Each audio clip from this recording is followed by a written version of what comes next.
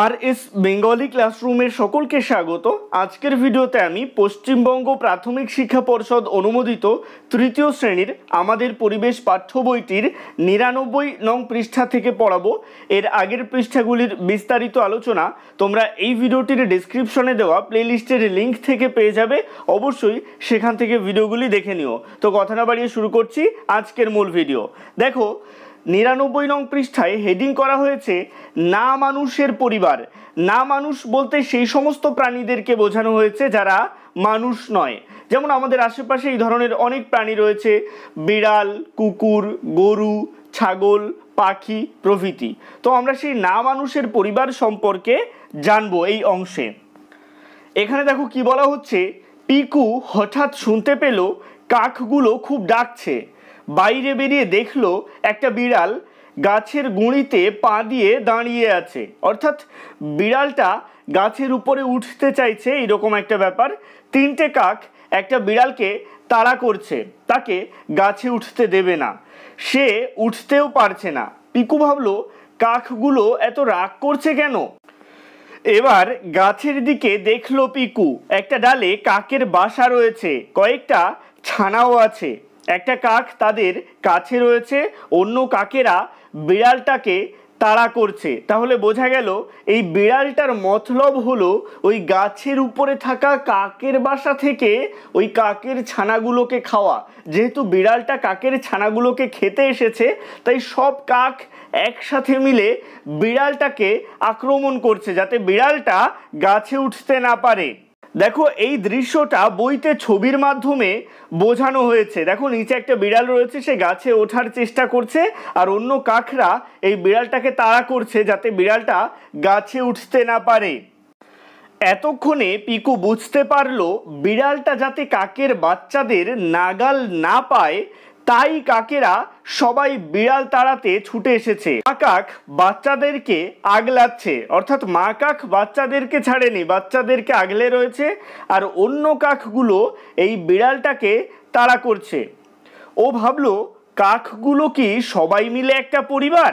স্কুলে গিয়ে পিকু সব বলল, ডমরু বলল হ্যাঁ রে, মানুষের মতো পাখিদেরও পরিবার আছে, চড়াইরাও ওই রকম। দিদিমণি এসব শুনে হাসলেন, বললেন, কাকগুলো সবাই হয়তো এক পরিবারের নয়, তবে এক পাড়ার। তোমাদের পাড়ায় কারও বিপদ হলে তোমরা সবাই তার পাশে দাঁড়াও না? তখন পিকু বলল, দাঁড়াই তো। এও সেই রকম, তবে পাখিদেরও পরিবার থাকে। দেখো, মানুষ সামাজিক জীব। আমাদের সমাজে, বাড়ির আশেপাশে যারা বসবাস করে, তাদের সাথে মিলেমিশেই আমরা সুখে শান্তিতে বসবাস করি। আমরা একে অপরের উপর বিভিন্ন রকমভাবে নির্ভরশীল। আমরা একে অপরের বিপদে পাশে দাঁড়াই। ঠিক তেমন কাকেরাও একে অপরের বিপদে পাশে দাঁড়ায়। দিদিমণি বললেন, দেখবে, সারাক্ষণ দুটো কাক ওই বাচ্চাগুলোকে আগলাবে, অর্থাৎ বাবা কাক এবং মা কাক। একটু বড় হলে ওদের খাওয়াবে, ওরা শেখাবে, তবে বড় হয়ে গেলে পশু পাখির বাচ্চাদের সঙ্গে বাঁধন আলগা হয়ে যায়। পশুদের এবং পাখিদের ক্ষেত্রে যখন বাচ্চারা একটু বড় হয়ে যায়, তখন তারা স্বাধীনভাবে নিজেদের মতো জীবনযাপন করে। তখন আর বাবা মা তাদের সাথে থাকে না। অর্থাৎ এখান থেকে আমরা জানলাম যে বড় হয়ে গেলে পশু পাখির বাচ্চাদের সঙ্গে বাঁধন আলগা হয়ে যায়।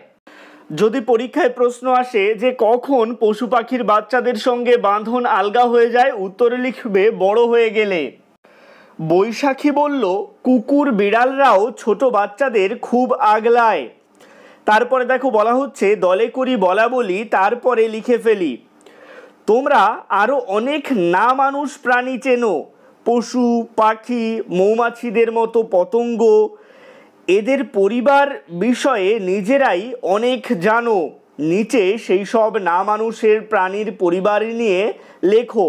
এটা তোমরা নিজেরা অবশ্যই বাড়িতে চেষ্টা করবে। তোমাদের বাড়ির আশেপাশে যে সমস্ত না মানুষ প্রাণী রয়েছে, তাদের পরিবার বিষয় তুমি কি দেখেছ সেটা লিখবে, আর তাদের বিষয়ে তুমি কি বুঝেছ তাদের পরিবার বিষয়ে সেটা লিখবে।